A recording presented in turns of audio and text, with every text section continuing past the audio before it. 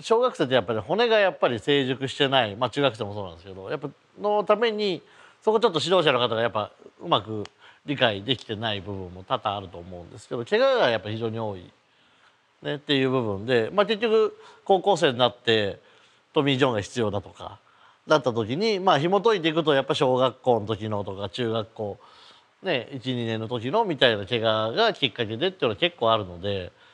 まあなんでそうなっちゃったのかなみたいなとかもね踏まえた上で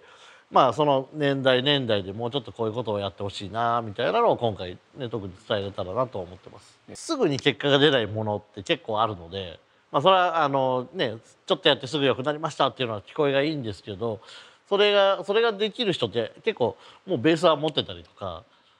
ね、そういうタイプの人なのでそうじゃない能力がない人でもこういうことをきっちりやっていくことで後に上がっていくしベースが上がっていくことによって、まあ、いろんなところでねこう花開くというか、ね、そういったことを理解してもらえればでそれをちょっとなるべくそのただやりなさいっていうわけじゃなくてこっちもこういったところに効果的だからやった方がいいよこういうやり方をやるとよりそれが獲得しやすいよっていうのをより分かりやすく説明できたらなとは思ってます。ターニングポイントからあなたへ質問です。お子さんのトレーニング方法に悩んでいませんか？プロ野球選手を育てた名コーチたちのトレーニング方法知りたくありませんか？選手たちの未来を変えられる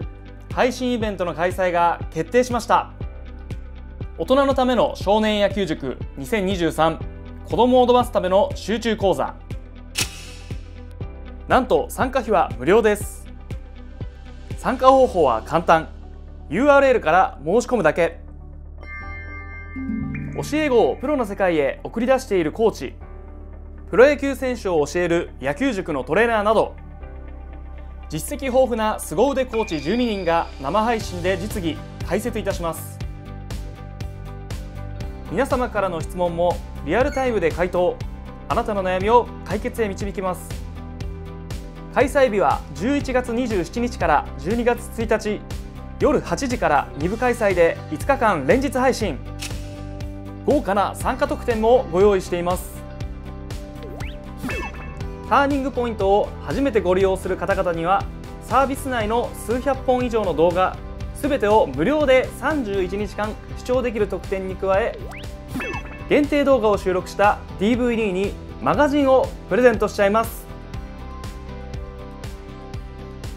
すでにサービスをご利用してくださっている方々にも特典があります。12月4日から3週連続で限定動画をプレゼント。さらに今ならアンケートに回答していただいた方全員にフィールドフォース EC サイトで使用できる10%オフクーポンを贈呈。もう一度お伝えいたします。参加方法は至ってシンプル。URL から申し込むだけ。一歩だけ行動を起こして選手たちの未来を変えませんか？